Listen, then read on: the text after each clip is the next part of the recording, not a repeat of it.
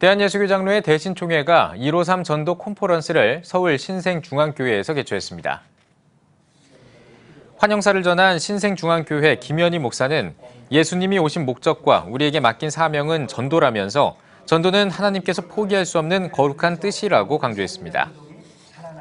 우리가 개혁주의 생명신학을 각 전국적으로 좀 확대시키고 생명운동을 일으키기 위해서 지금 하고 있으니까 이번 기회를 통해서 다시 한번 잃었던 생명을 회복하는 이런 성회가 됐으면 좋겠습니다.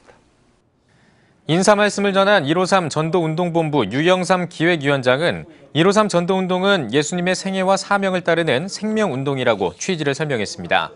이어진 콘퍼런스는 경기제일교회 강관중 목사의 강의와 현장 전도, 결단서 작성 등의 순서로 진행됐습니다. 예장 대신총회는 지난 2월에 153 전도 운동본부를 설립한 뒤 1만 교회 확장, 5만 전도 헌신자 양육, 3만 300만 성도 전도를 목표로 153 전도 운동을 적극 추진하고 있습니다.